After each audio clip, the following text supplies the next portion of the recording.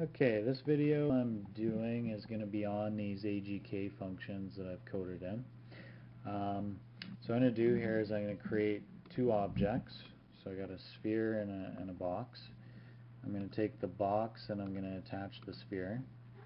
The sphere is now a part of this object. Okay, I'm just going to change the offset. Okay, so now we've got this object that's a box. Now, what I want to do is I want to texture these two limbs differently. Uh, I'm just going to use color textures for this. Um, so I'll make one of them blue, or cyan, or whatever they call it. Uh, then the other texture I'm going to use um, can be actually blue. Um, so what I'll do is I'll texture the sphere blue. I'll texture the box that color. And I'm just going to make sure that sometimes some of these limbs that I have in my quick parts menu doesn't actually have um, UV coordinates. So what I'm going to do is I'm going to just select all of these to be safe and I'm just going to hit this button which gives it a plain map texture on it.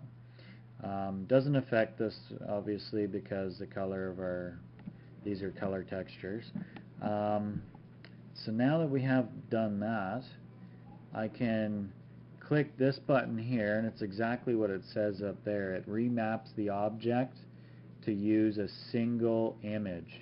Okay? So even though this object's using two images, it's going to remap it to use one. So I'm going to go ahead and click that. Okay?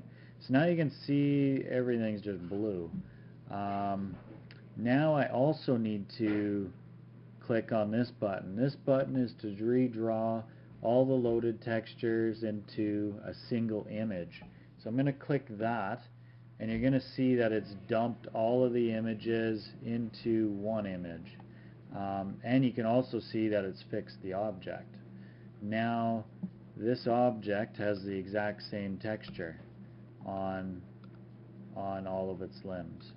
So that's how that works, and that those functions were coded in specifically for um, A. I mean, it makes it so you're just using one image at the end, um, and then B is that it remaps everything to just use one image. So it's really good for a final product to just have one image per model, even though it has more than one limb. Okay, thanks for watching, and I'll do another video on vertex tools as well as animation.